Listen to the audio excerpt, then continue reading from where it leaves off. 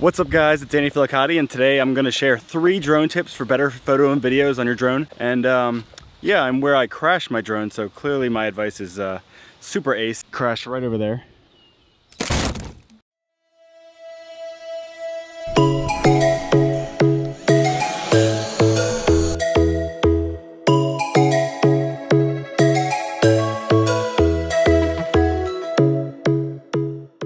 My first tip is about the gimbal. Uh, when I first got my drone, when you uh, arc the gimbal up and down, it kind of uh, veers really quickly. I found that really annoying, especially how sensitive the button was. But uh, actually inside the menu, there's an option to change the sensitivity. So yeah, after changing that setting, you can kind of change how sensitive the gimbal is. So uh, no longer it would be flailing all about when you're recording.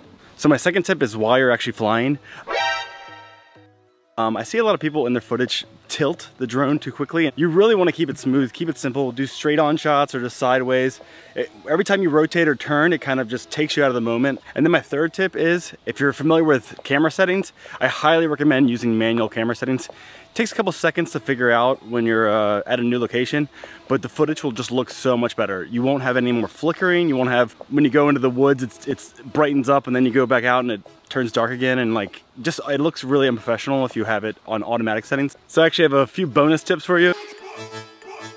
One is the app, the app AirMap. So basically it just shows all the legalities of where you can fly and you know the rules of flying. And I think this helps finding spots, especially for me living in DC. There's kind of like a really hard way to find where to fly.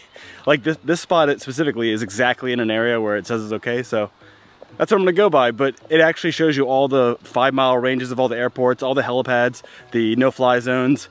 Um, yeah, so then when you get there, you can uh, actually fly and not be surprised that you can't fly at the specific spot. And just one last tip, um, this is for people who have the Mavic Pro.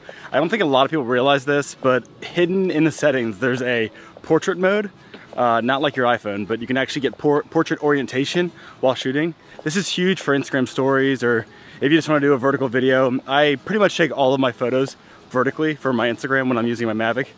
So uh, yeah, you just go into the settings and you'll see there's a portrait orientation option. It'll actually flip the camera sideways. It's actually one of the only drones I think that does this. So if you have a Mavic Pro, I definitely recommend taking advantage of that. I really don't know why I picked a place covered in trees to talk about drones because I can't fly here to film some examples for you. so yeah, there are some tips uh, for you for better flying, to get better videos and photos.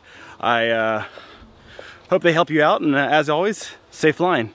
Okay, I think I'm actually stuck in here, so uh, this video will never be published.